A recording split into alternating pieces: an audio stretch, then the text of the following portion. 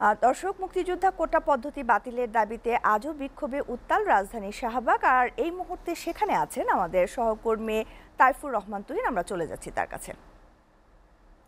আর তুহিন, মুক্তিযোদ্ধা কোটা পদ্ধতি বাতিলের সিদ্ধান্ত অবৈধ ঘোষণা করে হাইকোর্টের রায় যে আপাতত বহাল রেখেছেন আপিল বিভাগ, তো এই পরিস্থিতিতে কি বলছেন আন্দোলনরতরা?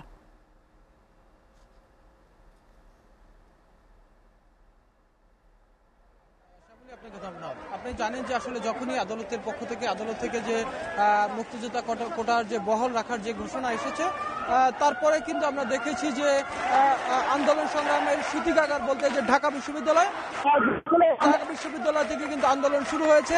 আমি যদি দেখাতে চাই যে আসলে আমরা সকালে দেখেছি যে যখনই এই রায় পাওয়ার পরেই কিন্তু ঢাকা বিশ্ববিদ্যালয়ের প্রত্যেকটি হল থেকে মিছিল নিয়ে কিন্তু তারা জড়ো হয়েছেন এবং তারপর থেকে কিন্তু সেই মিছিলটিকে এসে কিন্তু আমরা দেখেছি যে শাহবাগে অবস্থান করছেন এই মুহূর্তে পুরো শাহবাগ থেকে শুরু করে আশেপাশের পুরো প্রধান সড়কগুলো কিন্তু একেবারে বিভিন্ন বিশ্ববিদ্যালয়ের শিক্ষার্থীদের অবস্থান নিয়েছেন এবং সেখান থেকে কিন্তু তারা বারবারই বলার চেষ্টা করেছেন যে মুক্তিযোদ্ধা কোটা সহ যে বৈষম্যমূলক যে কোটা রয়েছে, সেই কোটাগুলো কিন্তু তারা বাতিল চান। আপনি জানেন যে এর আগেও কিন্তু দু হাজার আঠারো সালে কিন্তু এই কোটা নিয়ে কিন্তু ছাত্ররা আন্দোলন করেছিলেন। এখনও তারা দাবি করছেন যে আসলে যে বৈষম্যমূলক কোটা রয়েছে সেই কোটাগুলো অবিলম্বে প্রত্যাহার করতে হবে।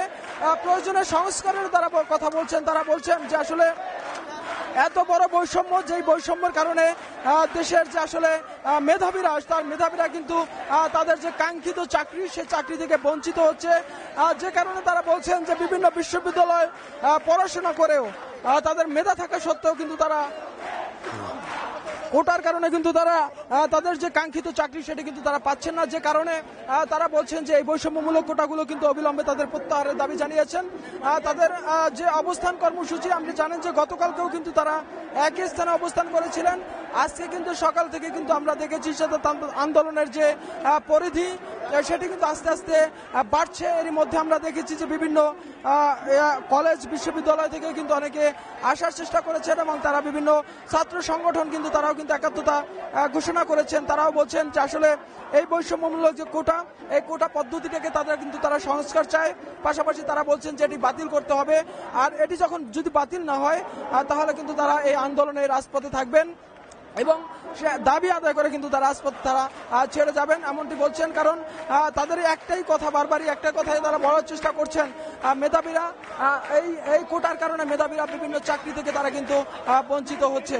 যে কারণে তাদের যে পূর্ণাঙ্গ দাবি, সে দাবি কিন্তু তাদেরকে আদায় করতে হবে এবং তারা বলছেন যে এই সে দাবিতে দাবি আদায় না হওয়া পর্যন্ত কিন্তু তারা রাজপথেই থাকবেন এবং তাদের এই আন্দোলন তারা কিন্তু চালিয়ে যাবেন। তো এখন পর্যন্ত যে চিত্র, সেটি কিন্তু আমরা দেখছি যে একদম শাহবাগ মোড়েই কিন্তু এই বিভিন্ন ইউনিভার্সিটি এবং কলেজের শিক্ষার্থীরা কিন্তু অবস্থান নিয়ে তারা কিন্তু তাদের দাবিগুলো কিন্তু প্রকাশ করার চেষ্টা করছেন। আর সেই সাথে আমরা দেখছি যে আসলে আশেপাশের যে পরিস্থিতি সেটি হলো যে আইন শৃঙ্খলা রক্ষাকারী বাহিনী কিন্তু তারা সতর্ক অবস্থানে রয়েছেন।